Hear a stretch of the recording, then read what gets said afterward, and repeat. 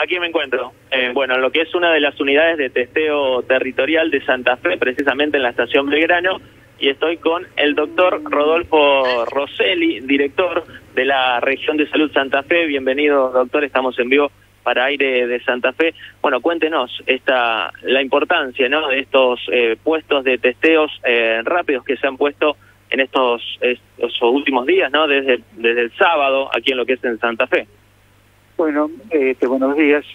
Eh, bueno, con el objetivo de intensificar las acciones sanitarias, eh, hemos eh, abierto cuatro puestos o unidades de testeo territorial, unidades fijas, que tienen la característica de que la persona puede ser hisopada sin turno previo de cualquier persona que tenga síntomas, aunque sea un síntoma, y eh, aunque ese síntoma haya comenzado ese mismo día, se acerca al centro de testeo, a la unidad de testeo y se lo va a hisopar. También aquellas personas que no teniendo síntomas, pero que hayan estado en los últimos tres días en contacto con alguna persona sospechosa o confirmada de tener COVID, también lo vamos a y a las embarazadas también. Embarazadas sin síntomas que quieran este, realizarse el hisopado, también se lo vamos a, a realizar. Importante para muchas personas, ¿no? Que muchas veces tienen la duda, ¿no? De haber sido contacto estrecho con un positivo y pueden acercarse, como decía usted, sin ningún, sin ningún turno previo y, bueno, esto también ayuda a ustedes de lo que es salud para generar un gran elevamiento de lo que de cómo se, está desarrollando esta pandemia en esta época que, que uno también puede llegar a, tener otros tipos de enfermedades. Sí, por supuesto que para el sistema de salud es muy importante la información, pero también, eh, digamos, es la voluntad de querer eh, mejorar el acceso que la población pueda tener un acceso pleno a este servicio, a, este, esta instancia que es tan importante. La persona que tiene síntomas muchas veces, o que no tiene síntomas, pero que se siente muy preocupada por la situación, quiere saber, quiere conocer, al sistema sanitario también le interesa saber y conocer. Entonces, este, nos parece muy importante además porque en otras eh, localidades en donde se realizó y se, está, se lleva a cabo este tipo de procedimientos han sido muy efectivos. Este, brindar esta, esta posibilidad para que la gente sin ningún tipo de obstáculo pueda acceder al testeo. Y bueno, también hay muchas personas que están acercado, ¿cuál es el porcentaje más o menos que han calculado de la cantidad de positividad bueno, este, si la muestra es chica, porque tomamos en este fin de semana un poco más de mil personas fueron testeadas y un 23, 25% del índice de positividad. Todavía no está terminado todo el proceso porque la mayor, estos 25%, 23% de positivos son de los test rápidos, test de antígeno, pero también hay un grupo de personas que se les realiza la PCR, que está en proceso, que hoy, hoy vamos a tener los resultados de estos días, el fin de semana, que podría modificar un poquito a lo mejor los números, pero yo creo que vamos a estar en un índice de positividad entre un 23 y un 25%. Es importante también cómo ha avanzado en las últimas semanas la vacunación en la provincia y eso es muy importante. que yo hoy este, termino de recibir, terminamos de recibir acá en la ciudad de Santa Fe casi 10.000 dosis del Sputnik, componente 1 y componente 2. Sabemos que nos va a llegar, ¿no es cierto?, al país, le van a llegar cerca de un millón de dosis de AstraZeneca.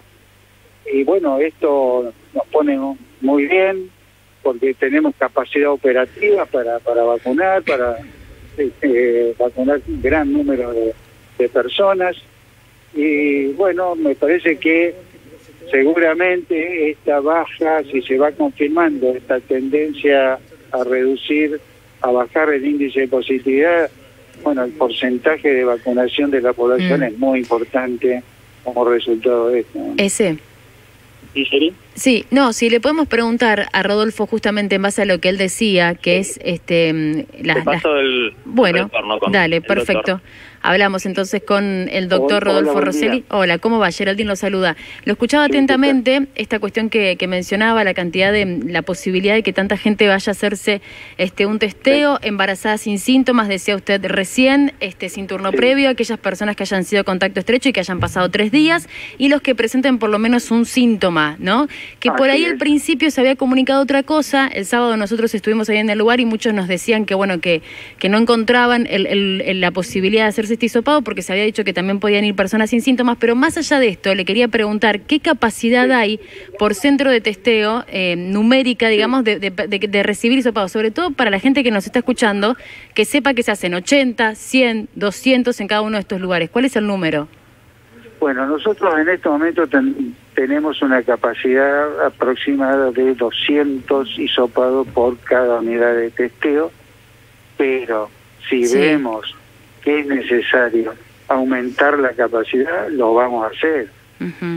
Si vemos que hay una demanda insatisfecha significativa, vamos a aumentar este, la, la capacidad de testeo. Pero hoy por hoy, en cada una de las unidades de testeo, eh, aproximadamente son 200 test este, diarios que podemos realizar. Importantísimo. ¿Y en qué horario por ahí es el que más se recomienda que vaya la que vayan las personas que nos están escuchando? Porque están de 9 a 1 de la tarde, ¿no?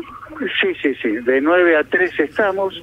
Nosotros les recomendamos en general que no esperen hasta las hasta las 13 porque siempre hay demoras en esto. Después a lo mejor tienen que estar una hora, hora y media a, a la espera del resultado, si se acumula a última hora. Este, así que preferimos que la gente vaya este, Claro. un poco antes, ¿no es cierto?, de, de la finalización de- del El- proceso de testeo. El sábado justamente pasó eso, que muchos fueron sobre el mediodía y bueno, por eso se generó este colapso de cual, de cual le hablaba. Doc- Doctor Rosselli, Luis, Luis Mino, buen día. Hola Luis, ¿qué tal? Buen día. Eh, ¿Hasta cuándo tenemos este tipo de testeos? Eh, por lo que yo leí, quiero hacer simplemente una aclaración, ¿esto continúa? Sí, sí, sí, sí, sí. Desde ahora en adelante. ¿Qué, qué es en adelante? ¿Cuánto tiempo? Y bueno, el tiempo lo vamos a ir viendo en función de la situación epidemiológica. Ajá. En la medida que veamos la necesidad de ah, llevar adelante gran cantidad de, de testeo, lo vamos a ir haciendo. Pero Este, la, la- la situación es que la- ustedes agregaron un camioncito más de Nación, me parece que hay como un quinto puesto, ese, ah, sí, sí, sí, ese En este rotativo, momento- ese rotativo va de un lado para otro o se queda fijo en algún lado. Sí, sí, sí. Nosotros tenemos también, contamos afortunadamente con el camión del sanitario, el detectar federal, que lo tenemos, eh, vamos a decir, de itinerante, que va recorriendo diferentes barrios de la ciudad, algunas localidades también cercanas de la región, lo cual es una ayuda, un complemento muy, muy importante. Quiere Eh, decir, este, lo que nos interesa son estos puestos fijos, que la gente sepa, que vaya tomando conocimiento, que en tal lugar se hace el testeo. Bueno, ¿qué quiere decir? Que con este grupo, con esta batería de decisiones, lo que se está tratando es de achicar el margen, la mayor cantidad del margen de probables futuros contactos, sea con asintomáticos o con sintomáticos, y generar como encapsular, a ver si, si usted me corrige, me corrige, ¿eh? yo trato por todos los medios de ser lo más claro posible, la probabilidad de contagios. ¿Por ahí venimos? Eh, está claro, está claro. Decir, nosotros queremos reducir la cantidad, reducir al máximo la cantidad de gente portadora de virus que circule por la ciudad. Si tratar de detectarlos para que esa gente no circule, indicarle el aislamiento. De esa manera, al no circular, no va a contagiar, no va a haber y vamos a reducir la cantidad de enfermos. es la clave. Al no circular, no se circula, no se este, está permanentemente eh, haciendo distribuir como que el, el virus va de acá para allá, de allá para acá, de acá para allá, se encierra, se encapsula y vamos a bajar los niveles de este colapso sanitario que tuvimos hace 10 días, que, doctor, la pasamos muy complicado, muy complicado, y ahora parece que tenemos una pequeña brisa, un pequeño aire fresco y una lucecita de esperanza además con la llegada de tantísimas vacunas. Y yo creo que entre ese dato final, para cerrar esta nota, es la alegría de saber que está vacunado todo el grupo de personas con comorbilidad de 18 a 19. Esa es la mejor noticia más allá de que ya se empezó a vacunar a menores de 55, 50 inclusive. Creo que por ahí pasa la gran alegría. Sí, sí, sí, sí, sí. Intensificar la vacunación como se está haciendo, nos están llegando buena cantidad de dosis de vacunas, los testeos que tenemos que intensificar y, y sobre todo después la responsabilidad social del cuidado personal, social, porque yo creo, Luis, que podríamos hoy estar mejor de lo que estamos. Estos eventos que ocurrieron, o este evento que ocurrió el fin de semana anterior, donde hubo alta movilización y circulación de personas, no contribuye a, a esto, a este estado. Así que es muy importante porque los testeos son importantes, la vacunación muy importante, pero la estrategia más importante para el control de la pandemia son los cuidados personales y sociales. Más el testeo y la vacunación. Esa es la trilogía. Más el testeo y la vacunación. Sí, sí, sí. sí. Lo, la, la, las tres puntas. La principal estrategia, porque ustedes ustedes vieron que este, las personas que se vacunan no están exentas totalmente de la, de la enfermedad. Entonces, la vacunación es muy importante. Los testeos para reducir la cadena de contagios es muy importante. Pero si la gente no este, acepta las medidas de cuidado, de restricciones, y si se genera una situación como la que se generó hace una semana atrás, este, va a ser muy difícil este, el control de la pandemia. Eh, lo último, tema, veo que en esto nos hemos olvidado de las otras cuestiones de enfermedades. Hay mucha gente que no concurre para hacer sus chequeos anuales, producto de que tiene miedo, de que duda, de que el virus, que el otro. Me preguntan desde la zona de Rincón que está, está habiendo un faltante de vacuna de neumococo. ¿Usted tiene algún dato de ese? Puede ser que sea ahí, o sea, general, el dato está por llegar. ¿Me puede contar, doctor? No, no, puede ser que en algún momento haya habido una faltante, pero todo esto puede ser transitorio porque nos están llegando muy bien en tiempo y forma las vacunas. Ahora puede ser que en algún momento puntual, algunos días, haya faltante de algún tipo de vacuna, pero nosotros en este momento tenemos todas todas las, las vacunas disponibles en, todos los efectores, Luis. ¿eh? Una, una última, última, última, no nos molestamos más. Eh, eh, las segundas dosis, la segunda dosis para personas de, yo no quiero ir a los 60 porque los 60 se vacunaron hace muy poquitito, hablo de los de más arriba, 80, hasta podría decir 75, 85, ¿eso qué calculan? Depende de cuándo llegan y cuándo calculan que pueden llegar. Bueno, ahora nos están llegando este, segunda dosis de Sputnik en buena cantidad las AstraZeneca que tenemos y que nos van a llegar y vamos, digamos, no, de, eh, no debería este, haber un adulto mayor de 65 años sin esquema completo en las próximas semanas. eso es una muy buena noticia, lo repetimos, no debería entonces haber adultos de mayores de 65 años sin las dos este, dosis aplicadas en las próximas semanas. Exactamente. Sí, sí. Es, Clarísimo, Es, el título de la nota, ¿eh? Porque es muy valioso lo que termina de contar, doctor. Sobre todo, doctor, porque mucha gente que ya se le cumplieron estos tres meses, que nos escriben y nos dicen, bueno, pero ya mi mamá ya se vacunó, mi abuela ya se, vacunó la primera dosis, ya pasaron tres meses, y lamentablemente lo que terminan haciendo es este peregrinaje por los distintos centros de vacunación preguntando cuándo les toca la segunda dosis. Por eso es tan importante este, que sepamos, bueno, que tenemos que esperar, que ser pacientes y que desde, desde provincia se está haciendo todo para que en los próximos días ya estén todos los mayores de 65 años vacunados con las dos dosis. Sí, eh, en la medida que tengamos la disponibilidad, pues, Claro. como decía, nos han llegado segundas dosis de Sputnik en buena cantidad. Hoy eh, nos van a llegar buena cantidad de dosis de AstraZeneca, por lo cual yo creo que los adultos mayores de 65 años en las próximas semanas tenemos que tenerlos a todos con, con el esquema completo. Perfecto. Bueno, doctor, completísimo como siempre. Si no le molesta, lo vamos a grabar. Repítame los lugares y los horarios, porque mucha gente por ahí enciende la radio al final de la nota. Usted haga de Luis Mino. Atención, Luis Mino nos pasa, eh, siéntase, porque agarre la manija, diga, esto es aire Santa Fe, eh, por un ratito es dueño de la radio. Ah, tenía un vencimiento hoy en el banco, si usted quiere ir también. sí. Bueno, dale, decimos horarios pa- para los testeos y qué cuestiones hay que tener en cuenta. Lo escuchamos, lo grabamos, así lo ponemos varias veces en la semana, en la mañana.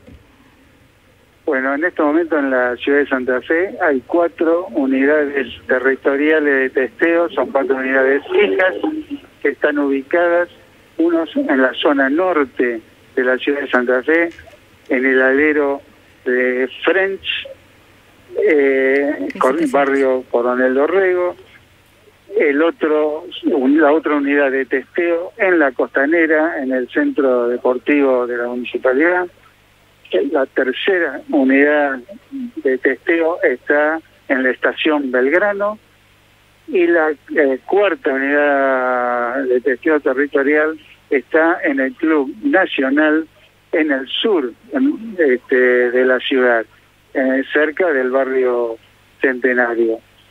Estas unidades trabajan de 9 a 13 horas. Le pedimos a la población que en general no eh, vayan muy sobre la hora para que después no tengan que estar esperando tanto tiempo. Queremos que en lo posible este, se acerquen antes de la una, que es el horario, digamos, de cierre de, de la actividad. Eh, ¿Tienen que tener en cuenta alguna cuestión para ir a hacerse el testeo? ¿Tienen que tener algún dato previo? No, no, este, es- lo- las condiciones para el testeo, eh, lo recordamos, son personas con síntomas, aunque sea un síntoma y aunque ese síntoma haya comenzado en ese día, síntoma compatible con COVID. O aquellas personas sin síntomas, pero que en los últimos tres días hayan estado en contacto con algún caso sospechoso o confirmado de COVID y también a la embarazada. La embarazada sin síntomas que desee conocer su situación también las vamos a no vale. testear. Lo mejor, salió perfecto. Eh, la verdad que esto lo vamos a reiterar en, la, en buena parte de la mañana, porque en salud, en aire, primero, siempre. Hasta luego, doctor. Muchas gracias, Luis. Lo mejor, lo mejor. Ahí la tenías a Jorgelina Mudalel también un ratito, estaba por ahí cerquita. Por- antes de irme con está. Zuckerman, porque está lista con Zuckerman, ahí están, le están haciendo una nota. Jorge, está Jorgelina. Bueno, Jorge. contanos eh, la, la- la importancia, ¿no? Y cómo se ha desarrollado estos, estas unidades territoriales de testeos rápidos. Bueno, muy importante contar con esta herramienta que se suma a, a lo que es la expansión sanitaria en toda la provincia de Santa Fe y a los centros de vacunatorio. Es importante que la gente sepa que se puede acercar todos los días de 9 a 13 en las distintas unidades territoriales sin turno previo para vacunarse. El objetivo es disminuir la circulación, detectar de manera precoz a las personas que, que tienen COVID, como así también poder hacerle un seguimiento cercano para que la evolución no sea negativa y no terminen en internación. Por eso el objetivo es detectar de forma rápida a estas unidades territoriales fijas, que bueno, ahora estamos en la estación Belgrano, hay otra en el alero de Coronel Dorrego, otro en el Club Nacional y otro en el Centro Municipal Deportivo, que posiblemente ese se modifica el lugar y se, se lleva a otro barrio, porque está muy cerca de la estación Belgrano, y la idea justamente es distribuirlo geográficamente para que toda la ciudadanía pueda acercarse, pueda hacerse el testeo, y se le suman los camiones del Detectar Federal, que en este momento están en Barrio Pompeya, en Avenida Borrita el 4000, en el Centro de Salud, y también mañana, martes, van a estar en Barrio Yapeyú, en Teniente Loza y 12 de octubre. Fundamental que la gente sepa esta información, que la tenga que, sepa que puede acercarse si tiene un síntoma o si fue contacto estrecho, si tiene la duda. Está a disposición la posibilidad de hacerse el hisopado y el objetivo es reducir la circulación a partir de los resultados que arrojen todas las unidades territoriales a cada persona que esté en el momento, algo el PCR que lleva un poquito más. En este, eh, este fin de semana arrojó una positividad del 23% de, y se espera que aumente un poquito al 26% porque estamos esperando los resultados del PCR. También saber que una persona si da positivo se le realiza el certificado rápidamente y se le manda el aislamiento. Esto de forma rápida es algo que se suma a lo que ya existía, a los centros de hisopados que ya teníamos en la ciudad, en el CEMAFE, que llamaban al 0800, que los derivaban. Bueno, esto es algo más espontáneo, es algo eh, inmediato para que la gente justamente no tenga que atravesar trámites burocráticos y pueda acercarse a estos lugares que están disponibles, porque como te dije anteriormente, el objetivo es reducir la circulación, detectar de forma precoz, por eso se están distribuyendo geográficamente estos lugares donde se suma el detectar y donde ahora se va a modificar posiblemente un lugar porque se detecta que está muy cercano a otro centro territorial y la idea es abarcar a toda la ciudadanía. ¿En cuánto tiempo estarán en la ciudad estas unidades territoriales de testeo? Por ahora van a seguir estando y van a estar mientras dure la pandemia, eh, obviamente eso se va comunicando, pero hoy es lunes, hasta el próximo lunes está todos los días, incluidos sábados y domingos, de 9 a 13 y se va a seguir informando, pero la idea es que perduren y que sigan estando de forma fija para que la gente pueda hacerse los testeos. Ahí la escuchábamos, Luis, a la concejala Jorgelina Mudale. Muchas gracias, un saludo para Jorgelina. Me voy urgente al tránsito y después quiero aclarar algo sobre...